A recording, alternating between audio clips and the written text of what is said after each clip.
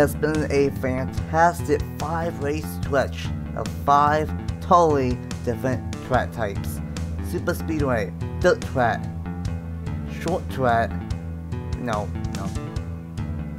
Is, it, is this gonna be right at uh, like uh, timeline wise? Is this right after? Is this gonna be put right after Stafford? Yes, the very next day. Yep. It has been a fantastic season and a fantastic way to kick off season number two of the Amsoil ARCA series. Five races down and five different track types Super Speedway, Dirt Track, World Course, Short Track, and Mile and a Half. And now we are here at our second short track, but really this track is totally different than the first one. We are at Pikes Peak International Raceway. It's just over one mile.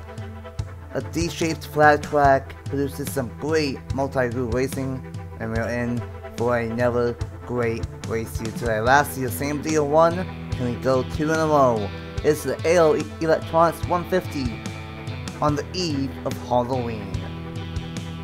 What's up everyone, it's the boy NS Racing 97 aka Nathan Stain here, and welcome back to honestly quickly becoming one of my favorite racetracks uh, to come to on the channel for short tracks.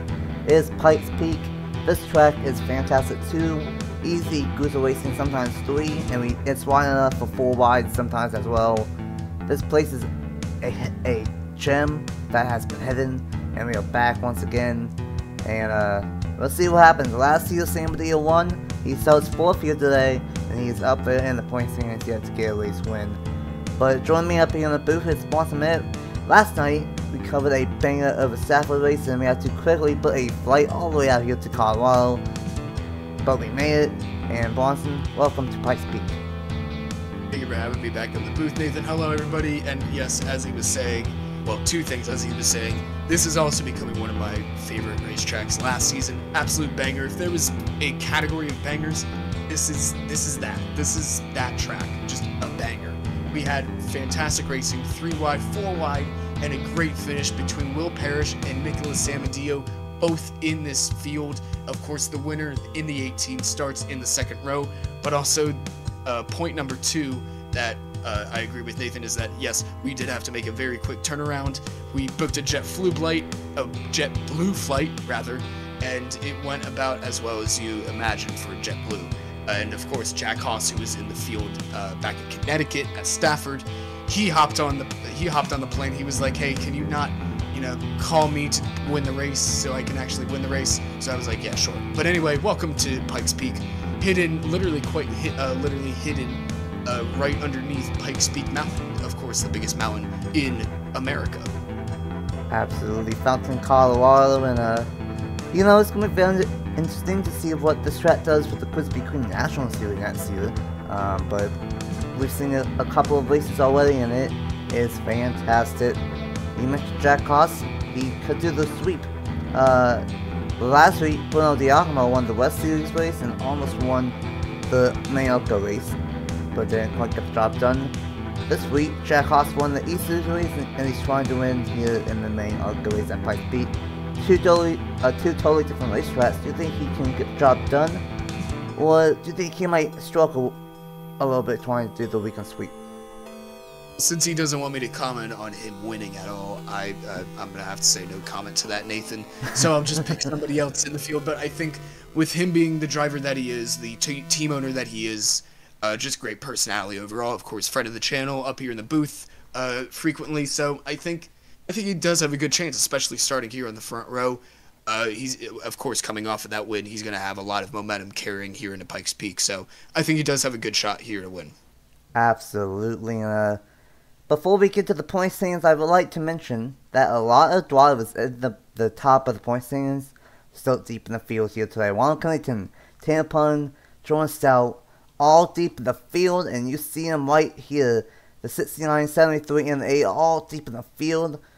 And it's to be interesting what ends up happening because a, a, lot of the drivers like Jay Rando, Sam Dio, the, the Doberman of Sustry, and some others still up front.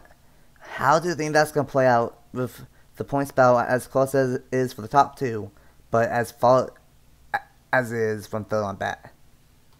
I think it's going to be very aggressive, Nathan. Uh, they know the chaos that was last season.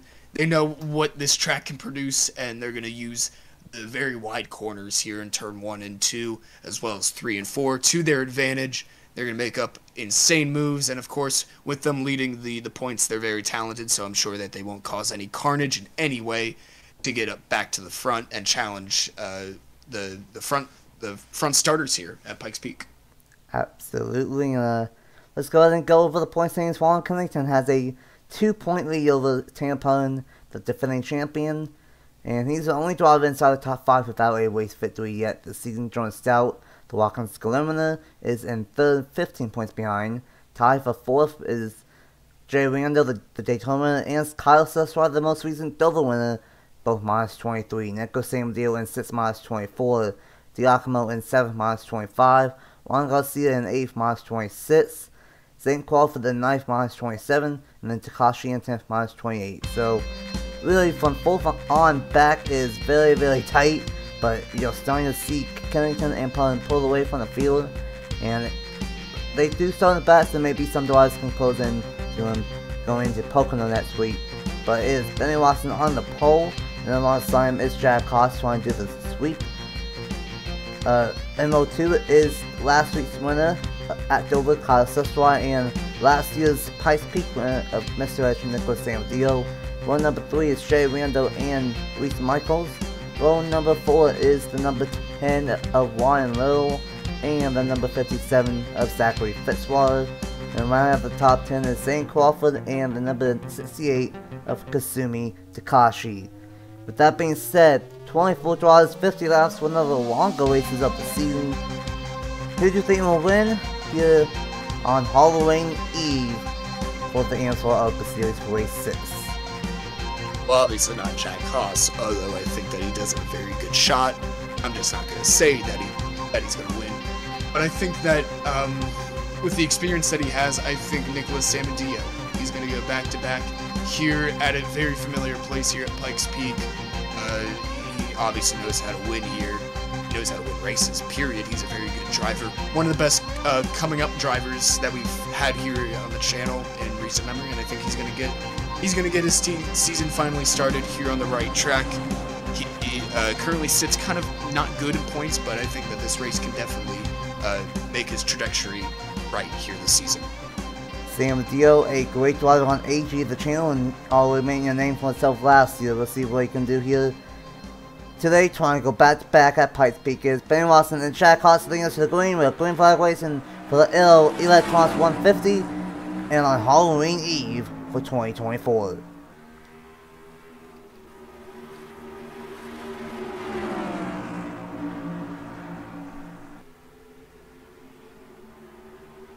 already three wide and almost four wide. Might have saw some people go a little bit wide off of turn two that happens sometimes. They get out of the gray and there's a lot of uh, Colorado dust and that is the four wide in the back between Giacomo and Weem. And they're gonna uh, settle back down. That was close in the bat. But meanwhile, it's side by side between Sustroy and Watson. Watson trying whip that second lane. Sustroy trying the bottom. But it's going to be Watson hanging on for the race lead. Eddie Watson holding strong. We haven't seen him be this competitive since, well, never. But anyway, he is up front, leading at Pikes Peak, being chased by last race winner. Four wide down the front stretch here at Pikes Peak, going into the turn number one. How is this going to shape out? Oh, contact boy. made between the 42. Some more contact. And, and the one goes Caleb blows. Into the 42 and they're all flying apart here at the back of the pack. Watch out, the 27 turned around Aaron Abel. The 69, I believe, of Kennington has a, has got a piece of it. That's the points leader, all just all torn up, and that is the 68 of Takashi. Great race at Dover, and his race, his competitive race, is going to end early on here at Pikes Peak. Early on, Lap number three, we had a crash. On lap number four, we are finally under caution. I think we saw this last year, early caution with these guys getting crazy, and uh, that's just the nature of Pikes Peak. I forgot to mention this, this track has some extreme tire wear, so they're going to be on one set of tires all race long, and you want to get the trap position early on, and that's what these guys were trying to do, throwing four right, right out of the box, and fortunately some colors will involve, like Matthew Burnett in, in the number 55.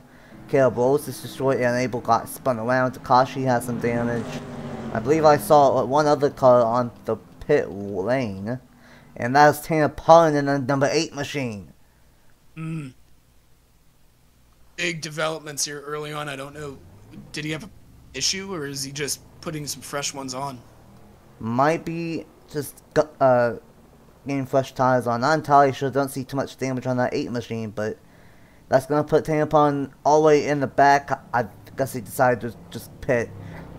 Well, welcome to Pikes Peak. This track is crazy at the starts and restarts. Let's go ahead and see what happened for caution number 1 in the Arrow 150. Well, welcome to Pikes Peak 4 wide, two instances already in a 3 lap span, and unfortunately this one did not look like the first one. Caleb got a little bit turned by and able to force him down the racetrack, and Chase Harris had nowhere to go but door slam the 42 back up in front of the 27. And if they saved it here, it would have been just fine. But then they were able to try getting back to the inside, and they basically went full wide again. And then Rose stood up the racetrack, and they were almost 4 and 5 wide here. And then Takashi turned cables hard into outside wall on two wheels. Nowhere to go for Burnett. And then John Stout turns the 75 into the 27 of Abel. Gonna go for a spin. Um, I believe the number 6 well not the 6, the eight of tampons got a slight pit, uh, uh, a slight bit of damage, I, I, should say, and that's why he went down pit just to make sure that the car looked fine, and honestly, it does look just fine.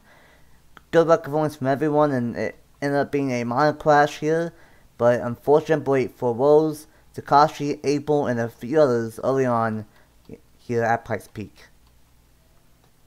I had the speculation going in down the front stretch and going into turn one four wide was just never going to work. And then I thought, oh, maybe they got it sorted out. But then I saw Caleb Rose come down into the two and then come right in front of Takashi there. And you see the wall jets out there. That's unlike any track we go to, besides probably Richmond.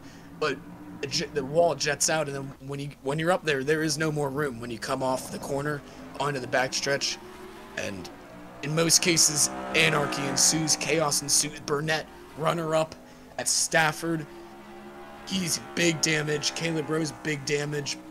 Both decide to stay out on track for another lap. But that is how we are under caution, Nathan. Absolutely. Speak a unique racetrack to try say uh, the least, and you mentioned a great point of the back stretch and fairly up with everyone involved, and early caution. Don't think too many cars will be out, and we'll see what happens on the restart with Benny Watson. Leads back to the green here at Pikes Peak. Welcome back to Pikes Peak International, and a crazy start already here in this one. But it will be Watson leads back to the green with Sestry, Rando, Crawford, Sam with Dio, Michaels, Lil, Haas, Fitzwater, and Parrish the top 10. We are only on lap 7 of 50 and we will go back green on lap 8 of 50 and as I mentioned this is one of the longer races of the season for these guys and it's going to be interesting of, of, how these guys fare on the restart, if it being a single file restart, but also on the long term of things, on how they manage the tires, but Watson's currently out front, and we'll see what he can do on the restart, because he has some hungry draws behind him, two previous wins already this season of Sestry and Rando. Watson gonna try and nail this restart. Green flags back out here at Pikes Peak. See the 30 there of Jay Rando taking a look to the inside. Sushdrag closes the door. He's trying to come down right in front of the 25 there of Zane Crawford. Three wide going into turn number one. Benny Watson clears. There's Jay Rando all the way up to the racetrack, trying to clear himself. Nothing's done there. Still three wide, trying to make it four wide. This gaggle of cars with the the 18 and the 15 there. That's Reese Michaels, as well as the 18 of um, Nicholas Samadillo. Pardon me. Still side by side for P2 and P4.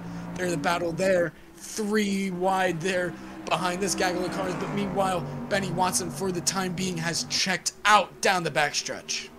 A crazy restart. The Stelson and restart's absolutely insane. Look at this move from Jack Haas. from top to bottom, three wide. For, I believe, the, the sixth position, Haas and San Mateo and Susride battling for this spot. There might be a couple of cars off the pace in the back, and unfortunately, one of them might be Tampon in the number 8 machine. Just got a little bit of damage in that incident and might be affecting him. But how about this? Great one from Derek Ham's development driver, Reese Michaels in the number 15. Side by side with Jay Rando for the third position. Rando trying to win that second lane. Very competitive lane. But it looks like it's going to go to uh, Reese Michaels for that third position. And that will be the case. That'll be 11 to 50. Chase Harris, who almost got turned in that first incident of the day. He's up front making some moves for push as well. And how about Jonas Stout making it three wide and some oh my goodness, one little.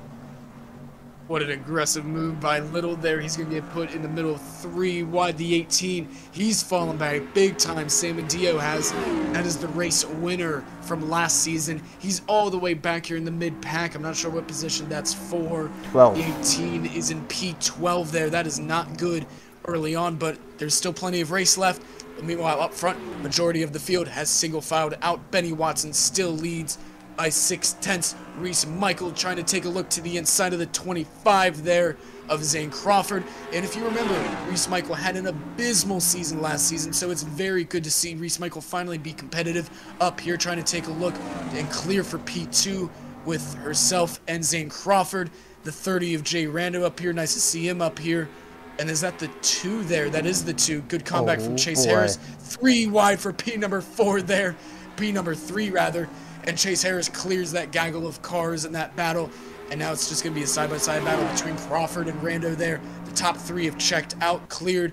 Reese Michael trying to defend her spot there for P2 against Chase Harris. But meanwhile, still Benny Watson leading a bunch of laps here in his run for a win. He when was the last time he won? It's been a while since Benny Watson period has been up front in a race. He did have some success in the Power Truck Series this season. I can't remember if he won or not. Uh, I know he made the chase at least, but I don't know if he won a race this season. But trying to get a win nevertheless, definitely a long time driver on the channel. And so is Chase Harris, mostly a owner, but uh, dipping his toes into ARCA, won the East Championship last season, has had a rough start to this season without a shadow of a doubt, running 17th in points, starting to get some mojo back into his system, and running in the second position now. How about Jay Randall though? He's been really consistent, two top 10s in the first five races, fourth in the point standings, and right now, Jay Randall, Andrew, and Stout are running inside the top 10. Meanwhile, Juan Kennington and the number 8 of Tampon are outside the top 18. Kennington is in 19th and Tampon is in 21st. Yikes, that is not good for Tanner Parton's run for the lead of the championship. Just just kind of uh, going down the resume so far of Reese Michael this season. One top 10 in five races, and hopefully that she'll at least get a top five when she leaves uh, Pikes Peak. Hopefully with a win. That's her hope. But I'm pretty sure that's a hope for all of these drivers. Uh, otherwise, why would they be racing? Either way, the race still goes on. Jay Rando trying to chase after Michaels there, going into turn number one. Michaels fell back to P number three after getting passed by Chase Harris. Harris kind of closing down, chasing down Benny Watson there in the 97. Side-by-side -side battle, the first one here in a little bit. That's a 73 of Jordan Stout taking a peek to the inside of Will Parrish. Side by side, still off the corner. The 57 trying to take a peek. That's Zachary Fitzwater. Nice to see him back here in the series. Going into turn number one, still side by side. Might see this fizzle out. The 73 might clear off the corner. Going into turn number well, not that, that's not turn number, that's the backstretch. Going into turn number three, rather, still side by side. Good battle here. Ooh, Fitzy. Angry Fitzy right there got into the corner panel of the Zero Six of Parish and this uh, racetrack has quickly turned into one, one of both of our favorites and I am very excited of what the Krispy Kreme National Series does in their return in one of the uh, standalone, events that they will have next year. But how about Jamie Riano up to the third position? Gonna take that spot away from Reese Michaels. And how about this battle for the race leads heating up? Harris closing in to the back bumper of Benny Watson. Already on that 21 of 50 side by side for third, and we might have a battle for the race lead momentarily. Remember that spotter camera that we broke out uh, at Stafford? We might have to break it out here. There's just a bunch of battles. We got the battle for the lead, battle for P3, battle for P4 here. Uh, shaping up here. We got four cars racing for P number two. Jack Haas is getting into this battle, but Jake Rando is going to clear Reese Michaels going down the front stretch. Chase Harris is going to try and take a peek to the inside. There he is. Chase Harris to the inside of Benny Watson. Benny Watson tried to defend his his uh, position for so long, but he just had to concede. The tires are not what they used to be, and now it is going to be Chase Harris reclaiming P number one and leading here at Pikes Peak. Benny Watson going to try and gather his stuff up to try and chase down the number two, but new leader here at Pikes Peak, Chase Harris, the season one East champion. And you have to mention, well, I have to mention it again. Tyler, Tyler, Tyler.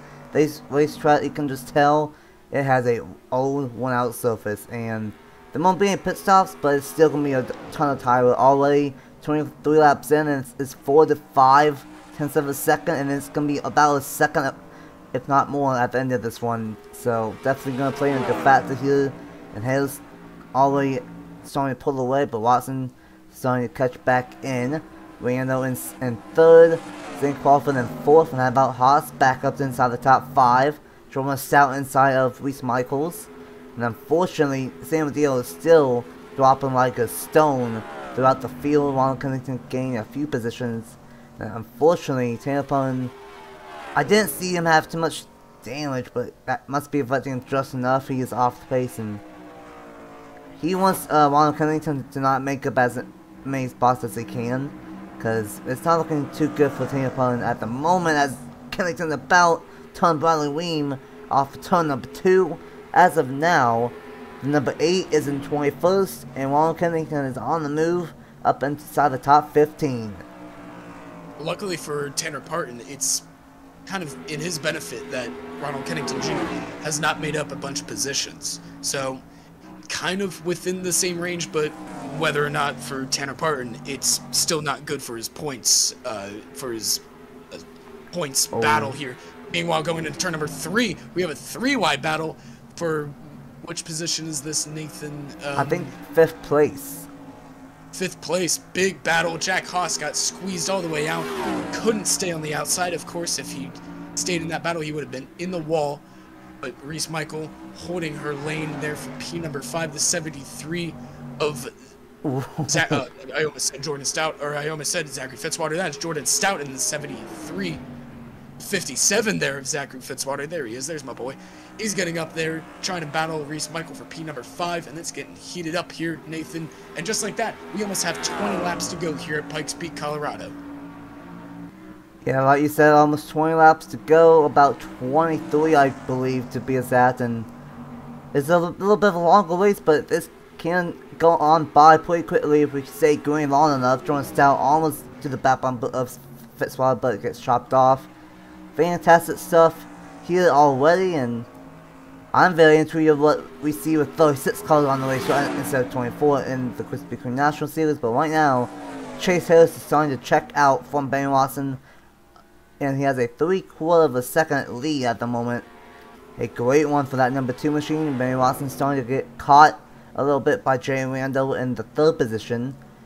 Crawford pulling away, and we still got this fifth place battle heating up still between Fitzwater Michaels, Stout, Garcia, Sustry. We got like seven colors battling from 5th to 12th here at, at Pikes Peak. This would be a good battle. The 20 there slides up. He tried to hold it to the inside, but of course, tire wear a big talking point going into today, as well as just this track being an absolute cheese grinder. 20 slides up, absolutely destroys tires. Reese Michael was to the inside, had her lane, but is now being shuffled out. Tony's going to try and take a peek to the inside as well, as if uh, the 0-2 there of Kyler Sustry doesn't, and he is there three wide off the no corner. contact. contact.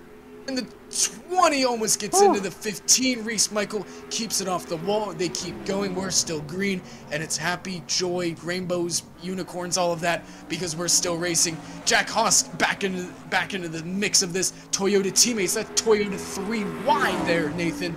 Jack Haas to the inside. Reese Michaels clears, going into the corner, almost chops off the nose there of uh, Jack Haas, but now Eleven's gonna slide up almost into the wall. it's gonna get tight. Oh my goodness, Nathan.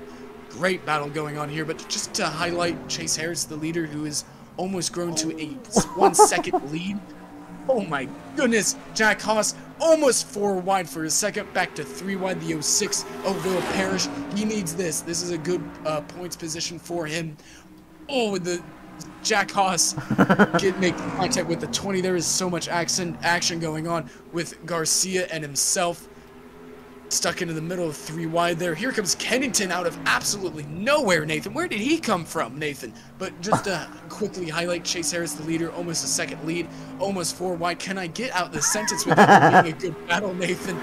Reese Michaels to the inside. Uh, and Jack Haas just cannot stay out of a three wide middle situation. He's been in a middle situation for about three laps.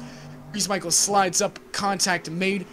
I'm going to try and get this out as fast as possible. Chase Harris, one top five, two top tens. He's going to try and finally get that win here today. And it looks like the battles have finally cleared out since I've said that. So I just wanted to say that. Now up to a second and a tenth lead over Benny Watson in the field. Oh man, that battle was absolutely wild and uh. I need some new lungs. that was insane. And we still got 16 laps to go, Bronson. The 16 on how oh about how about Kennington? He's in the back and did a good, a great work for instance. He might have a long one call. He had a long one call at Kansas, and he got a win there. I don't think he can win here today, but he is uh, clicking them off one by one, and Kennington could have a massive point lead over second place, whoever that might be, going to Pocono next week. We full car twain between Crawford, Fitzwater, Stout, and Sustry. That is for 4th through 7th. And Randall and Watson and Harris are all evenly spread out. But Harris still, have, still has a 1 second advantage over Watson. Who's having a great run for his own right. But this could be interesting because uh, Jordan Stout, or not Jordan Stout, uh, Jay Randall, he might not be that many positions ahead of Ronald Kennington, but he is plenty enough spots ahead of that number 8 of Tanapon, but he could leave here second in points going into Pocono. That's a great uh, observation and point. A lot of these drivers, they're very quiet uh, with how they, they climb up the, the points ladder, but just like Jay Rando, very quiet season, but he's been sneakily up there. He's he's had himself a great season so far, and if he finishes top three, top two, that's going to be a great points run, and he is definitely going to be up going into Pocono. But what what Chase Harris definitely does not want to is a caution. And I'm sure with the chaos that Pikes Peak brings as we are closing in on 10 laps to go, a caution is bound to happen, but hopefully we got it out of our system already early on. Of course, with that backstretch crash, you see the uh, skid marks there, but we see three wide back there, almost a four wide situation. That's still Reese Michael holding off this big battle of Toyota. That's actually all, all Toyota battle there that's the 06 of Ter or that's the 06 of Will Parrish rather, the 27 of Aaron Abel, the 20 of Juan Garcia, and of course Reese Michael clears this battle. But of course the possibility of three wide, just a big battle of cars, big back, big gaggle of cars. Gaggle might be my favorite word that I use here on this channel, Nathan. But just as long as a caution doesn't come out, I think Chase Harris is going to cruise as we, as you can see up on the leaderboard, a second and a and a uh, three tenth lead over Benny Watson. Yeah, uh, if the caution doesn't come out, Chase Harris is almost guaranteed to win. But of course, this is racing. Anything can happen. And It is not over until that checkered flag flies. Absolutely, we've seen it a lot this year. Do I remind you of Richmond and the JBL Cup Series? The race leader did not want to win, apparently, because that changed so many times. But right now, Chase Harris is absolutely dominating. Randall's starting to close in a little bit more to Benny Watson. Would like to mention the 75 Oh boy, uh, before that, we got lap traffic of, of uh, Caleb in the 42. The 75 of Eleanor Mendoza had a tire go down and is now four laps down. So top way for Mendoza, and we'll see how this uh, how much the slow down is. Don't think it will a lot. Uh, got a good break from uh, Caleb Bowles right there, and he's gonna go way wide as well. And Chase Harris might just uh, that might be the, the last obstacle for that number two, and it might be cruising onto the race win here today. Highlighting Eleanor uh, Mendoza there. You know, had a great points climb up the ladder. Currently sits 14th, was 18th, but made up four spots. Two top 10 so far this season. You know, definitely not what you want to see. Definitely not what you want to have late in this race. But closing in with five laps to go, of course, anything is possible. The 0-2 of Sustry to the inside of the 25 of Zane Crawford. And the 73 of Jordan Stout clears this battle, trying to escape with while he still can. Because we know Sustry is quick. At Dover, he showed just how fast he actually is as a driver. I think he's one of the more talented uh, up-and-coming drivers that we've had here on the channel uh, as of late, Nathan. Side by side between Crawford and the angry Australians himself, that is Zachary Fitzwater, my good friend. Good friend of the channel, good friend of uh, Nathan, of course. He's just a good friend uh, overall, but fortunately the numbers just don't show up, Nathan. I wish I wish he had better runs. Of course, he had that stellar performance in the Truck Series last season, but hopefully today uh, is the start of some great results, Nathan, as we now have five laps to go. Absolutely, Fitzwater has had a much better season this season in the ARCA series compared to last season. All Already has three top tens and trying to hang on and get a possible uh, fourth top 10 and maybe even a top 5 if you can get past Kaz Sustry. Both of these drivers I'm very interested on what they can do in the JBL Cup Series next year. Sustry is driving in number 17 for Will Parrish and that was honestly probably one of the top 2 or 3 best cars all season. And then of course Zachary Fitzwater joining Spy Motorsports and Caleb, uh, Caleb team in the third 71 and that team won the championship with, Josh Remsen. So I'm looking forward to both of those draws. Really looking forward to everything with the JBL Cup Series next season. I think it would be very ultra competitive, and I think the schedule is going to be just as fun as last year. How about Walter Kennington? He he's the guy that wants some momentum coming into next season and in the Cup Series, and he might do that by winning here in the ARCA Series Championship. Already, up inside the top 7 now with that move.